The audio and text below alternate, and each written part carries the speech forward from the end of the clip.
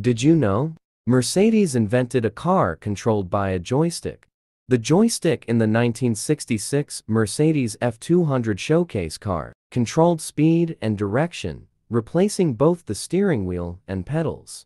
The car could also sense which side the driver was sitting in, so it could be controlled from the passenger seat.